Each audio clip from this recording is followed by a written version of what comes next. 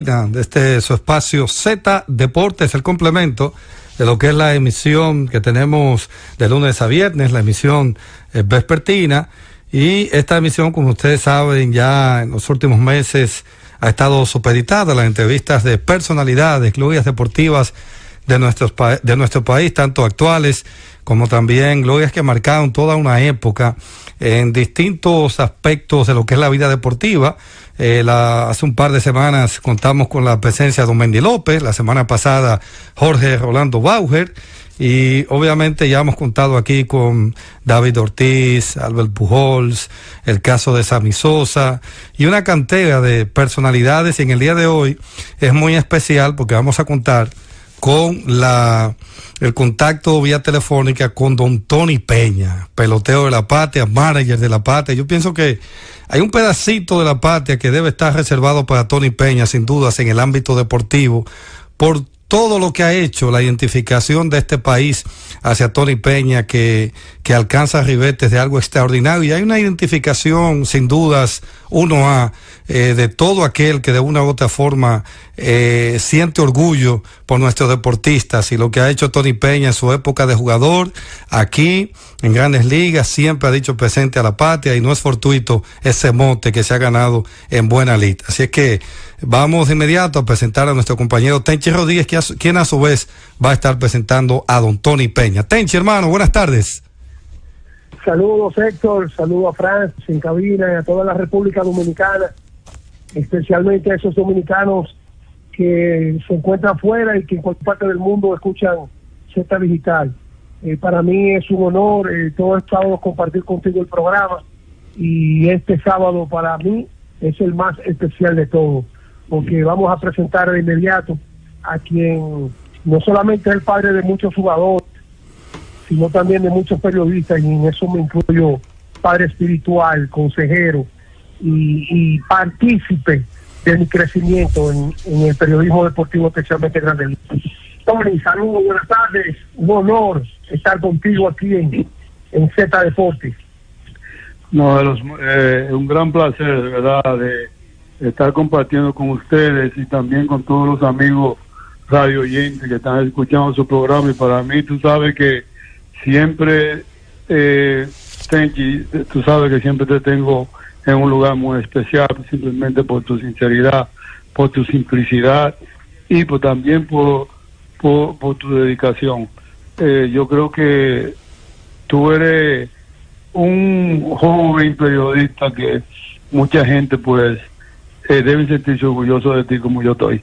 Héctor, eh, un saludo para ti también. Gracias, Tony. Tenchi es un jovencito que ya cumplió 50 años, Tony, pero tiene una tiene un espíritu más que cualquiera de 15 años, ¿verdad, Tenchi? no, lo que pasa con Tenchi es que Tenchi comenzó tarde. ¿Tú me entiendes? Su carrera es una carrera joven. Sí. ¿Tú me entiendes? Y eso es lo que pasa. Eh, aunque si comenzó temprano, pero estaba tapado. Ah, perfecto. Él, así mismo es. Tony, que eh, estos casi 50 años en el béisbol, eh, fuera de qué tanta alegría que vemos en tus fotos, en los videos, las fotos que sube Frank, que sube TJ, que sube Jennifer. ¿Qué tanto tú has disfrutado estos años de, de, libertad fuera del béisbol? yo he disfrutado eh, a lo máximo Tú sabes que nosotros eh, pensamos que nunca nosotros nos vamos a retirar, que siempre vamos a seguir jugando pelota hasta que uno muera. Y, yo creo que hay otra vida que yo estoy conociendo ahora mismo, esa nueva vida que está fuera de béisbol. Al principio me sentía, dije, pero ¿qué va a hacer con mi vida? ¿Qué yo voy a hacer? Eh, me voy a quedar trancado en la casa, me voy a poner como un puerco de gordo y toda esa cosa. Y he, logrado que, que, no tengo tiempo a veces ni, ni para yo disfrutar, porque me mantengo bien, bien, bien ocupado en la empresa, en las fincas, eh, los nietos. Y ya tú sabes, yo eh, eh, estoy disfrutando una vida totalmente nueva. En ese, en ese tenor, Tony, en varias ocasiones he sido he constatado ciertamente lo, bien que te sientes en tu finca y, las veces que te he abordado, me dice, bueno, llámame a ver un día antes porque voy a estar en mi finca, hay mucha posibilidad que esté allá y quizás la señal eh, no sea del todo buena. ¿Qué tanto te llena, eh, Tony, por así decirlo, reencontrarte con, tu, con tus raíces, estar en tu finca? Hace unos días vi un artículo periodístico muy bonito en el decano y se advertía en ti esa felicidad eh, que sientes ahí estando en tu finca. ¿Cómo puedes definir lo que tú vives cada vez que estás allá, Tony? Oye, eh, yo no soy visita y lo que estoy haciendo no es nada nuevo. Eh, lo que lo que he hecho esto es que, lo, he tomado como porque yo me separé un tiempo pero ahora todo de regreso o sea si yo me hubiese separado totalmente pero te digo que que ahí están mis raíces ahí yo sembré mis raíces o mis padres sembraron mis raíces en Palo Verde en Montecristi y por eso cuando estoy allá pues me siento eh, eh, feliz o sea totalmente, totalmente, una forma totalmente diferente de lo que yo hacía antes, que no hay ninguna clase de presión. Eh, estoy poniendo de la mano a los animales, que, que me meto a la finca de arroz, que ando todo el arroz, que me meto a la finca de los plátanos y ando dentro de los plátanos. O sea que estoy viviendo una cosa totalmente diferente, con un contacto con la naturaleza. Adelante, Tenchi. Tony, cuando, cuando la gente pregunta por ti, que por qué no estás dirigiendo y con estas respuestas que tú estás dando, el hecho de que tú te has entregado a la familia, a tus empresas, a tu, a tu campo, como tú siempre has dicho, eh, eso no, no, no ha cerrado las puertas todavía de que el Tony Peña está dispuesto a dirigir. Tenchi, yo nunca, yo nunca he cerrado la puerta a lo que a lo que se ama y, y tú sabes que el béisbol ha sido mi amor, el béisbol ha sido eh, mi pasión, el béisbol ha sido todo en mi vida. Porque estoy estoy ligado desde la edad de nueve años. Entonces, eh, eh, yo decir, no, ya yo no voy más que esto y lo otro. No, no puedo decir eso. Yo por eso digo, no, yo no estoy retirado. Estoy, estoy semi retirado. ¿Por qué? lo que Tony Peña no vas a hacer es ir a tocar la puerta a nadie. ¿Me entiendes? Trabajo Pero si alguien me necesita, todo el mundo sabe dónde yo estoy, todo el mundo sabe dónde yo estoy. En excepción que hay una cosa que es muy difícil, Tenchi, para y esto y también a los amigos que están escuchando, es que, eh, eh, por ejemplo, la pelota dominicana, la pelota dominicana cuando otros equipos eh, se me acercan a mí, yo lo que pienso es que yo no tengo la de, la de ganar. Yo lo único que yo dirigiendo otro equipo que no sea el equipo de las águilas o envolverme con un equipo que no sea el equipo de las águilas, porque me hace difícil. Pues yo no me voy a traicionar yo mismo. Yo no voy a traicionar mi sentimiento, no voy a, a traicionar ese romanticismo que yo viví toda mi vida. ¿Me entiendes? Entonces, eh, eso es algo diferente. Pero si alguien en Estados Unidos quiere eh, los servicios de Tony Peña y están interesados, pues todo el mundo sabe dónde yo vivo. Lo único que nadie sabe el teléfono, Tenchi, porque ya yo, el teléfono de Estados Unidos, desde que yo salí el año antepasado, yo lo metí en una gaveta y está metido en una gaveta ahí todavía. Y ni lo prendo. Tony, eh, hablando precisamente de, ese aspecto, de lo que tiene que ver con los managers, y supeditado eso al plano local, la pelota invernal dominicana, hace un par de semanas eh, nosotros tuvimos el honor de entrevistar a Fernando Tatis, papá obviamente, y él hablaba y entendía de que en esta liga como que no se le da el valor, eh, como que no se confía, más o menos fueron sus palabras en ese entonces, en el talento eh, dominicano. Y poníamos como ejemplo que hoy en día de un universo de seis equipos, hay cinco de los seis managers que son extranjeros. En tu caso, Tony, que te has desempeñado en muchas ocasiones aquí de forma exitosa como manager, ¿tú coincides con Tatis en el sentido de que quizás debe haber eh, un poquito más de, de apertura, de oportunidad al, al, talento dominicano en las posiciones de manager de los equipos? Definitivamente, definitivamente. Tú sabes que yo en varias ocasiones he dicho que aquí se le ha faltado el respeto a, los a los jóvenes dirigentes y también a todos los prospectos que van subiendo. Eh, y, y a veces a veces es un poco difícil. ¿Por qué? Porque cuando tú te, te proponen que tú vas a dirigir un equipo en la pelota dominicana, tú no puedes dirigir con algo detrás de tu cabeza, en tu mente, diciendo, oh, si no comienzo bien, pues me van a votar. Entonces eh, comienza la temporada, comienza mal y como quiera te van a votar. Y no obstante, tú comienzas bien, tú llevas un equipo a, las finales y en medio de las finales te votan. Entonces, entonces, ¿por qué? ¿Cuál es la razón? O sea, los dueños del equipo de la República Dominicana tienen, yo sé que quieren ganar y cosas, pero ellos son, ellos son dirigentes. Son dirigentes, quieren hacer un like no a, un dirigente. Y también quieren decirle al dirigente cómo va a manejar. Y no saben nada de pelota, porque si ellos son los dueños del equipo y saben tanto de pelota, porque bajen ellos mismos, se pongan un uniforme, bajen al terreno y se pongan a dirigir a ver si es fácil. ¿Tú me entiendes? Pero no entienden. No es tan fácil dirigir, no es tan fácil comandar. Y cuando un dirigente se nombra, es porque tiene don de mando. Es porque sabe cómo le va a sacar un 100% a un jugador.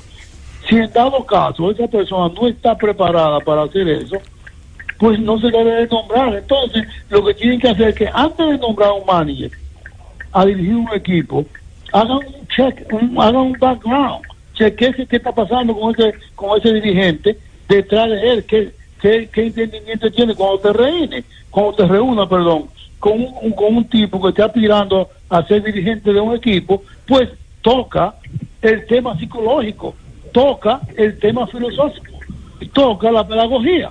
¿Por qué? Porque si no se saben desenvolver, ellos saben que van a fracasar. Entonces no lo nombren. No nombren un dirigente para votarlo a los 15 días. Tony, pero si, si así es, como tú lo explicas. Entonces, ¿qué decirle al país que puede haber ganado el Clásico Mundial en el 2013, llevar a, la final, a la semifinal en 2017? Y a ti no se te llamó para ni siquiera para, para pensar en dirigir de nuevo. ¿Tú no lo consideras una falta de respeto eso también? No, hombre, no, no, Tenchi, no, jamás. Jamás. Oye, para tú respetar a otro, tienes que respetarte tú mismo. Y si tú no te respetas, tú no puedes respetar a otro. Simple, simple así mismo que yo digo. Pero, pero en el tiempo que me tocaron el tema, que no se estaba aumentando, no, yo estaba tranquilo. Yo estaba tranquilo, pero lo que no me gustó fue, Tenchi, que en ese momento dijeron que Tony Peña hubiese dicho que no iba a dirigir el Clásico Mundial. Exacto. O sea, buscando una forma de cómo yo limpiarse y usando una duda o, o, poniendo a otra persona para ellos limpiarse. Y yo en ningún momento a mí se me llamó ni me preguntaron nada. Yo recuerdo, yo, recuerdo, Tony, disculpa que te interrumpa, que en ese entonces cuando eh, salió ese rumor y yo hablé contigo y, y, usted me dijo, no, porque yo en ningún momento he dicho que no, es que a mí no se me ha llamado, o sea, yo veo como, como una falta primero de respeto, segundo de ética, tercero como una especie de puñalada, tercero, o sea, yo de verdad que no me explico cómo alguien que como Tony ha hecho lo que hasta hasta los hijos de uno saben quién, quién lo que ha hecho Tony Peña por este país. Entonces, oye, me debe haber por lo menos un poquito de tacto, Tenchi, no sé. Héctor, sí. este dato. En dos clásicos, Moisés y Tony nada más han perdido dos juegos. Sí. Exactamente. y fueron contra los campeones. Hay, hay cosas en este país que el, el, hay alguien que me dice, este país mata a sus propios soldados. Y cuando yo veo cosas así, yo, óyeme, lo que dice fulano, ¿es así? Creíble eso. Lo que pasa es, que, es que nosotros, nosotros no, nada, no voy a decir nada, mejor me quedo ahí para no ofender a nadie. Sí. Tony, vamos con tu anuencia y Tenchi, hacer la primera pausa. Por favor, te quede en línea, Tony, porque Vamos a seguir con esta conversación interesantísima con el jugador de la patria, el manager de la patria, don Tony Peña. Pausa y volvemos.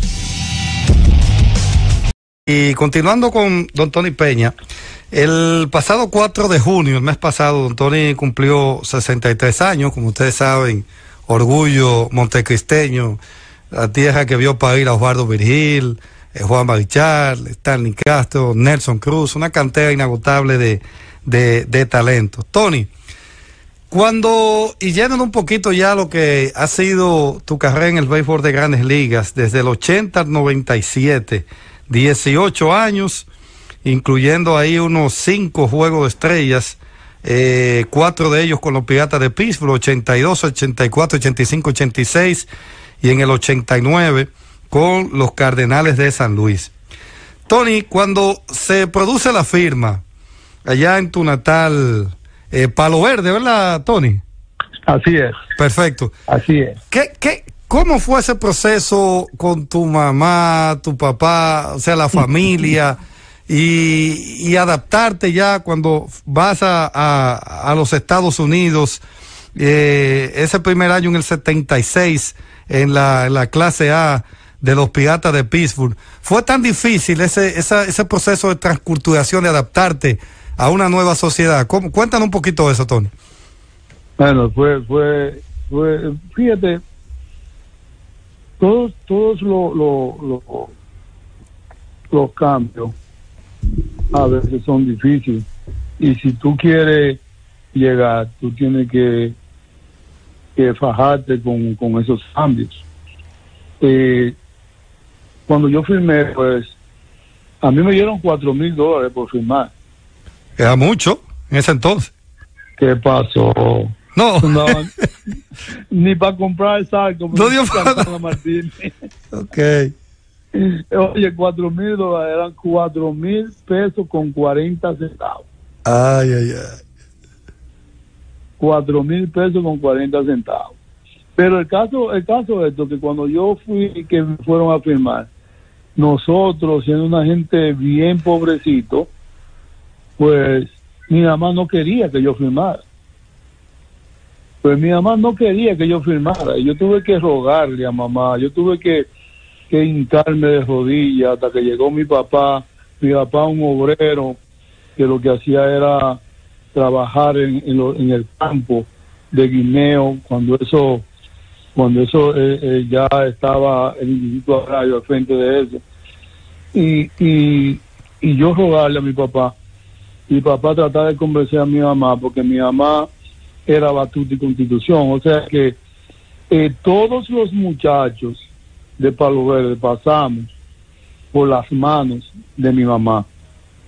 O sea, yo estoy seguro que algunos de ellos están escuchando este programa y, y, y y quiero saludarlo a todos mis hermanitos, todos mis hermanos de infancia, eh, donde yo digo que esos son mis verdaderos amigos, porque con ellos fue que yo compartí eh, toda mi pobreza, toda mi, mi felicidad, eh, compartí con ellos un pedazo de pan, porque así eran, cuando, cuando compraban un pan, pues lo dividían entre todos los muchachos que estaban ahí en ese tiempo no había malicia ni nada de eso. Pero un saludo si están escuchando esto. Pero le dije a mami, eh, mamá, déjame, déjame ir. Si me va bien, yo continúo. Y si no, yo no pongo estudiar. Y con esa condición mi mamá me deja ir. A mí me firman, y inmediatamente a mí me firman, me mandan a la Liga Institucional. Oye, si Howie Hay estaba tan seguro que a mí me firman y me mandan a la Liga Institucional inmediatamente. Y cuando mi mamá me llevó, oye, yo no había salido de palo verde, yo estaba verdecito, era como, ya tú sabes, yo era verde. Y me lleva mi mamá al aeropuerto. Y yo asustado. Y entonces ya me estaba esperando Alberto Lois, Nelson Norma, Juan de Lisa y Silvio Martínez. ya ellos tenían su experiencia, que ya tenían dos años o tres años jugando eh, eh, allá en Estados Unidos. Entonces, cuando llego allá me pasa que, que entonces me hacen falta mi familia, me hacen falta toda mi gente, todos mis, mis amigos, todos mis hermanos. Entonces lo que le llaman, eh, me, me, me pongo a pensar tanto, yo no quería comer ni nada. Ya yo dije, no, yo me voy. Y Nelson, eh, Juan, Juan eh, Alberto Loy y Juan de Lisa me dijeron, quédese ahí, quédese ahí tranquilo. Yo, yo, era tan, yo estaba tan verde, yo estaba tan verde, que a mí es que me inventaba a mi mamá, tenía que matarme. Yo me, me fajaba a pelear de una vez. Así estaba yo, ya tú sabes.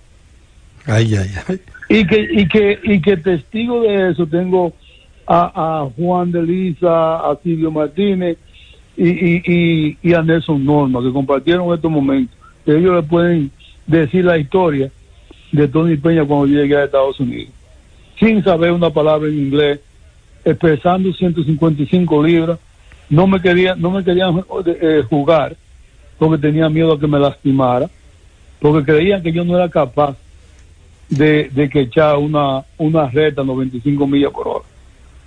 Y en ese entonces no era mucho que tiraban 95 millas por hora. Pero tenían, tenían miedo, pero yo le enseñaba a ellos, le enseñé la dedicación que yo quería hacer.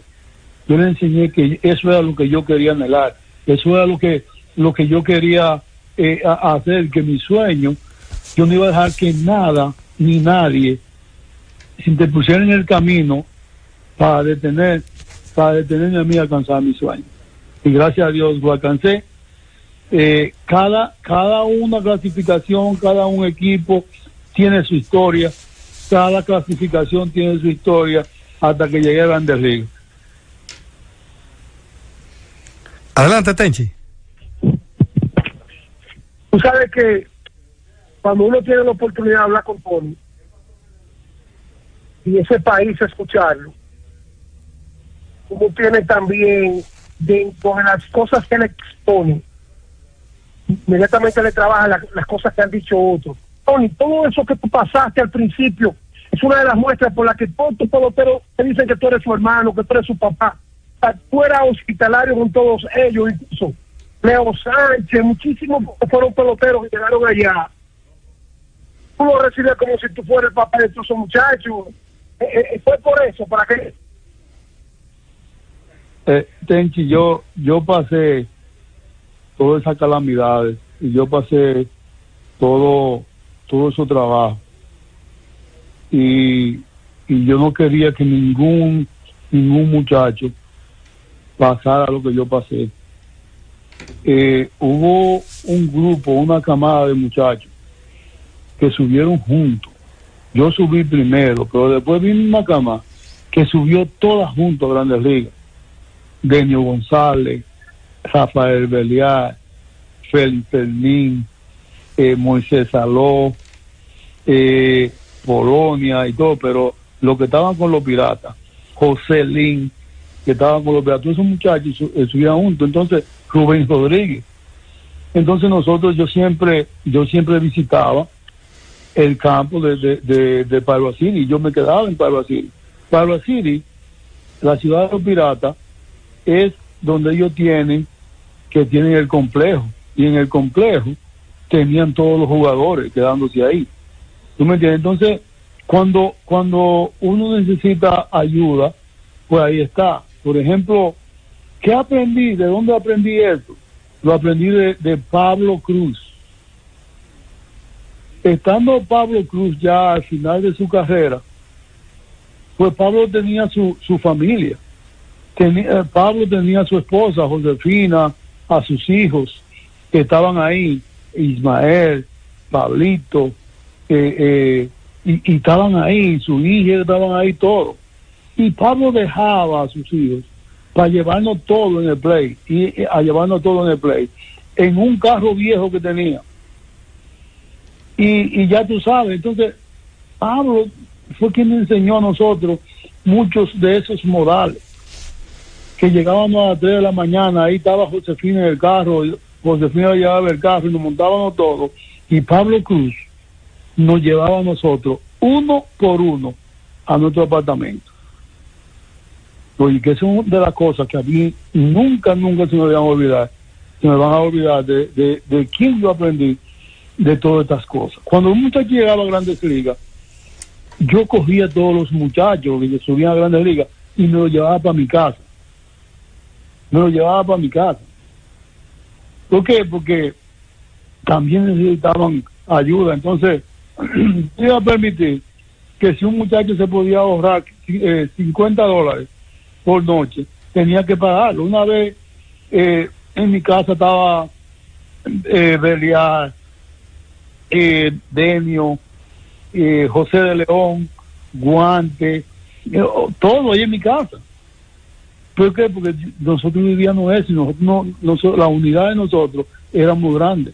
Y por eso yo, yo me desarrollé y con esa, con esa, con esa gratitud que, que, papá Dios le, da a uno. ¿Tú me entiendes? Y Dios se lo paga porque Dios le paga a uno todo. Tony, viendo la, lo que ha sido la evolución del, del, de la pelota, el béisbol y sobre todo de Liga Mayor, hemos visto cómo en los últimos tiempos se han implementado y se han adoptado una serie de medidas, tanto desde el punto de vista tecnológico, eh, sobre la base de tratar de, de que el juego eh, no sea tan extenso, esas largas eh, cuatro horas, casi tres horas y media, cuatro de pelota. Sin embargo, hay mucho que entendemos, en mi caso, que soy un tanto tradicional, de que muchas de estas medidas, eh, si bien es cierto que tratan de reducir el tiempo de juego, a la vez, eh, intuyo, en mi opinión, desnaturaliza la esencia del juego. Y me explico. Hay un video suyo que cada vez que yo lo publico, al instante, eso tiene más de 10 mil, 20 mil reproducciones. Y es el famoso video donde usted pide la bola franca y luego engaña al bateador y lo ponchan cantado. Hoy en día, con las medidas que se han adoptado, que automáticamente ya se pide la transferencia de forma automática, o, hoy en día un Tony Peña que tenía esa, esa, esa capacidad de, de engañar a los bateadores, eso no puede implementarse hoy en día. O sea, producto de eso ya, eso no tiene razón de ser, eh, eso que tú hacías.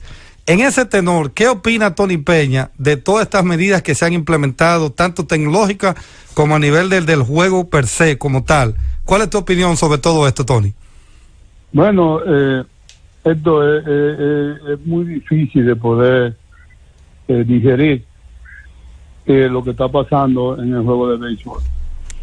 Estamos claros que el tiempo es trascendental y que las cosas pasan y la gente quiere mejorar. Ahora mismo el tema es de que eh, la fanaticada cree que los juegos eh, duran mucho. Pero si tú te pones a pensar, inmediatamente comienzan a cambiar eh, el juego, pues ellos creen que van a, a hablar más fanáticos yo creo, a mi parecer, que ellos lo que están haciendo es alejando el fanático del juego. ¿Por qué? Porque hay muchas medidas que se están cambiando dentro del juego para agilizar el juego.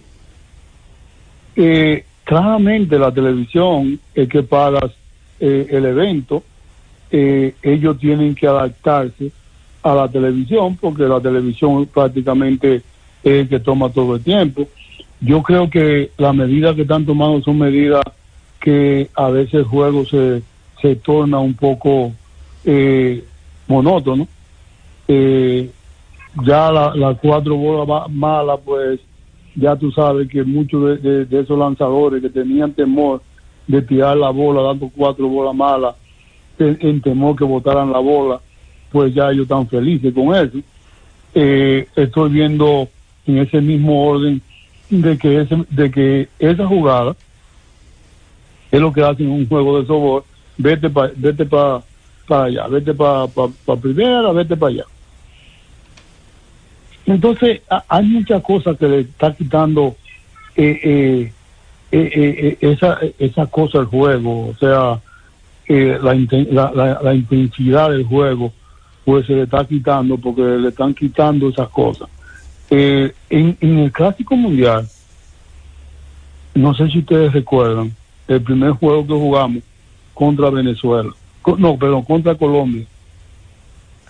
En un juego extraíne, ¿ustedes, ustedes se dieron cuenta de dónde comenzó cuando comenzamos el juego de traída, ¿usted se dio cuenta dónde comenzó el inning?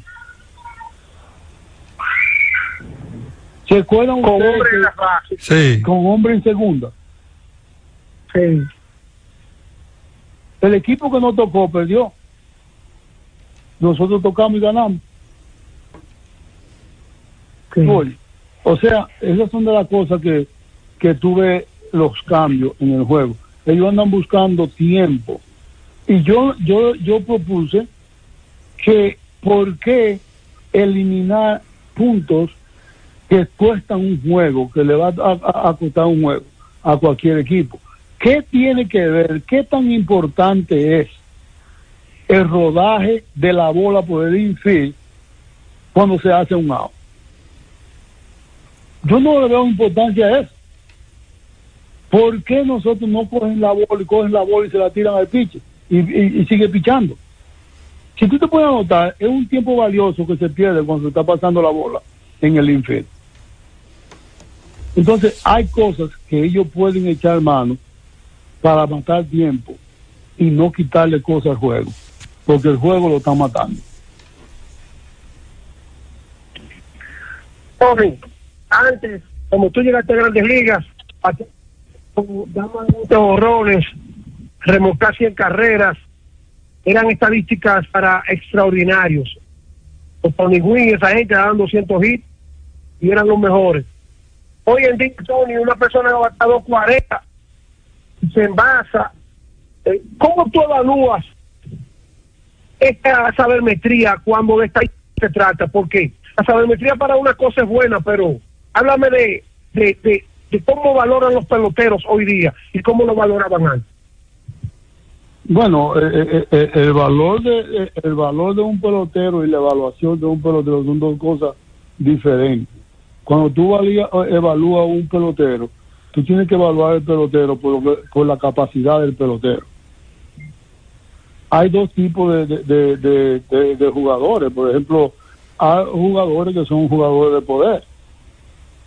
Y hay jugadores que son jugadores que es para jugar el juego pequeño. Hay una cosa que ha cambiado mucho en el béisbol. Antes y ahora, pues, tú puedes notar que el on base percent, las veces que tú te envasas, es eso. O sea, tú andas buscando un jugador de poder o tú andas buscando un jugador que tenga un, un on base percent en- por encima de 325. Entonces, eh, tú tienes que evaluar dos peloteros. Por ejemplo, te voy a poner eh, un ejemplo. Por ejemplo, Johnny Damon. Johnny Damon es un jugador que tenía un hombre por ser muy por encima de los 325, 325 alrededor de eso. Entonces, si tú ves el hombre, eh, eh, las veces que se envasa un, un jugador y las veces que un jugador da jonrón, jonrones, ¿cómo tú vas a evaluar los dos jugadores? Sí. Entonces, han hablado del tiempo de juego. El tiempo de juego ha cambiado. ¿Por qué? Porque los parques antes eran más grandes. Se daban menos honrones. ¿Tú me entiendes? El juego, la pequeñez del juego era importante. Pero ahora, con las dimensiones que tienen los parques, que han cambiado las dimensiones, porque la gente quiere ver más honrones. Entonces, ahí es que está eh, eh, el impasse del juego eh, a- yo me gustaría ver un hombre, eh, eh, el hombre por cien de las veces que un jugador se me envasa, ¿tú me entiendes? Porque más oportunidad tengo yo de anotar carrera. Entonces, el toque de bola, el toque de bola, en, aunque se regale un out, es una cosa muy diferente porque tienes que saber cuándo tú vas a tocar. Pero ya el toque de bola se va, se va eliminando, se ha eliminado tanto que, que si tú ves los partidos, pues no muchos están tocando. ¿Por qué? Porque la dimensión de- de- del parque es más pequeña que la que habían antes. Y los, los parques son más estrechos. Antes los parques eran amplios. Pues, y para tú sacar una bola era más difícil. Entonces, eh, la evaluación es muy difícil de tú evaluar un jugador dependiendo de qué tú quieres que ese jugador haga. A un jugador que tú lo quieres simplemente para jugar defensa. Pero si tú puedes ver, si tú puedes notar que un jugador que juegue defensa, que juegue defensa, no le pagan igual que a un jugador que juegue, que sea ofensivo. Entonces el juego se ha tornado un juego de ofensiva y la defensa se está a un lado. Óyeme, papel y lápiz, Tenchi, estamos, estamos aprendiendo aquí. Eh, Tony, viendo el caso de, y, y, voy a, en ese caso, necesitar tu opinión, por ejemplo, con, con Gary Sánchez, que eh, al igual que la posición que usted desempeñó, es receptor. Y la pregunta mía sobre Gary Sánchez sigue en torno a lo siguiente. ¿Usted lo visualiza a Gary Sánchez o entiende que él puede mejorar algunas quizás debilidades que tiene desde el punto de vista defensivo? Porque todos sabemos la capacidad que tiene Gary Sánchez y tiene también un buen brazo. Básicamente, él, la parte que tiene que mejorar el bloqueo y quizás llevándolo los picheos, etcétera. ¿Dónde usted lo visualiza Gary Sánchez? ¿O dónde le recomendaría, si le diera una opinión, que siga perfeccionando como, como receptor, eh, sobre todo desarrollando desde el punto de vista defensivo esas situaciones que todavía debe, debe seguir mejorando? ¿O en su defecto usted lo visualiza a largo plazo siendo un, qué sé yo, un inicialista de forma tal que pueda, por el grado de dificultad que conlleva la posición 2 de receptor, quizá le recomendaría que, que hagan eventualmente el cambio, la transición a otra base, sobre todo la inicial. ¿Qué le recomendaría Tony? Héctor. Sí. Cuando estaba en los Yankees que Gary Sánchez, eh, que yo estaba trabajando con él, yo siempre dije, dije, dije Sánchez es receptor. Y siempre peleaba con todo el mundo en las reuniones por Gary Sánchez. Siempre estaba peleando porque Gary Sánchez tiene, tiene algo que, que, que puede convertirse en un paquete completo. Pero también, como me decía Gary Sánchez, si yo no bateo, no juego. O sea que Gary lo que ha hecho es que él eh, ha puesto todo su empeño en su bateo, que es su lado fuerte. Gary Sánchez es muy inteligente, Gary Sánchez llama buenos juegos. Gary Sánchez no es bruto llamando juegos. Gary Sánchez es uno de los receptores jóvenes que llama muy buenos juegos. Ahora, si Gary Sánchez quiere eh, permanecer en la receptoría, yo creo que él debe dedicarle un poquito más de tiempo a su defensa. Pero como te digo, como te digo, eh, es cuestión de tiempo. Yo creo que a través que van pasando los años, el mismo Gary Sánchez va a entender, va a abrir los ojos, entonces él va a decidir, sí, tengo que trabajar, tengo que trabajar en la receptoría. Y no trabajar cuando, cuando tú le pones una máquina a recibir a 60 millas por hora porque no existe una velocidad de 60 millas por hora. Todo el mundo en Grandes Ligas ya está tirando 95, 97, 100, hasta 101 y 102. Sí. O sea, eh, cuando yo trabajaba con Gary, no, yo, yo tenía temor de poner la máquina a una velocidad alta. ¿Me entiendes? Por, por, la, por la importancia que tenía Gary Sánchez dentro del equipo tú no puedes, tú no puedes mejorar trabajando a media, trabajando a mitad de lo que tú en realidad haces en un terreno de juego. Cuando una bola viene a 103, tú no tienes tiempo para las manos, al igual que cuando tú tienes una máquina tirando a 60 millas por hora. O sea que cuando tú practicas, yo mejoré y me hice receptor pero fue a la mala. Fue recibiendo la bola, yo me ponía a hacer crítica a la máquina, a coger la máquina a toda velocidad. ¿Por qué? Porque mi mano yo tenía que poner a, rápida. Y, y, y Gary Sánchez lo único que tiene que hacer es dedicarle un poquito más de tiempo a su defensa, sin pensar que se va a lesionar. Simplemente trabajar en su defensa y Gary Sánchez se puede convertir en un futuro en un queche que tiene todo el paquete. Yo todavía creo que Gary Sánchez se puede convertir en uno de los mejores receptores, porque tiene la de llamar el juego, tiene un buen brazo y lo único que le, le, le, cuesta es trabajar, trabajar para mejorar su defensa. Perfecto. Tony, e, ese momento cuando siendo el de las Águilas, esa imagen de la lomita eh, tu hijo TJ Peña, Francisco Peña y tú reunidos. Cuando sucedió eso por primera vez, ¿tú estabas consciente del punto de vista histórico del momento que ustedes estaban viviendo o luego que vas al, al clubhouse, al dogado, que te das cuenta de lo sucedido o en la noche después del partido o al día siguiente? ¿Tú estabas consciente del momento histórico que estabas viviendo ahí con tus dos hijos en ese partido? No, esto no. No, en eso, ese momento lo único que tú piensas es, dirigir un juego y tratar de, ganar un juego de pelota.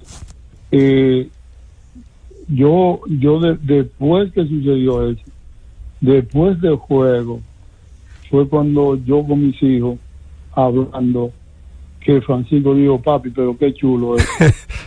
y yo dije, ¿qué? ¿Qué? Dice, nosotros tres juntos.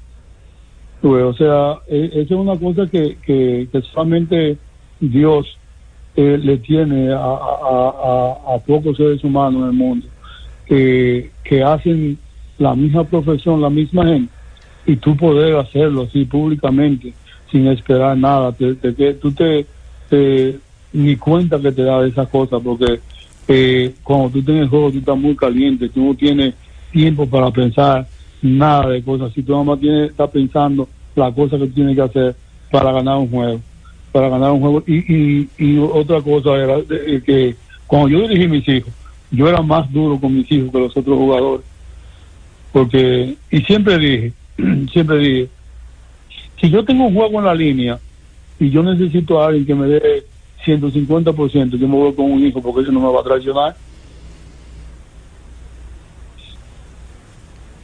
Así es, Tenchi. Ya en la parte final, hermano. Bueno, parece que Tenchi no se escucha, Tenchi. Así, ah, ya en la parte final, Tenchi, tenemos que terminar. Ah, no, no, a Tony que aproveche entonces agradecerle. A Tony lo tenemos y que le, le mando un mensaje final al pueblo dominicano, la situación que estamos viviendo. ¿Quién mejor que Tony para hablarle a su país? Sí, gracias, Tenchi, gracias, gracias, de verdad. Cuídense mucho ustedes allá. Eh, una de las cosas que la gente tenemos que entender es que eh, con esta pandemia no hay diferencia. Eh, no, no importa quién sea. Si tú estás en, el lugar equivocado y, te juntas y tú, tú tomas la medida de precaución, tú sabes que tú vas a morir. esto no hay un, un, sello en la frente que te diga, no, a mí no me va a dar, a mí no, a mí no me va a dar, porque esto y que el otro, a mí yo tengo dinero, a mí, a mí no me va a dar, no. Esto es para todo, esto es para todo, Tenchi. Y, yo creo que nosotros, eh, aquí específicamente en nuestro país, habemos mucha gente que somos ignorantes. Y escúchenme si me están escuchando y alguien se, se alarma. Yo sé que todo el mundo tiene que salir a, a trabajar yo sé que todos los días alguien quiere salir a buscar su pan de cada día. No todos tienen su comida segura y todas esas cosas, y todas esas cosas.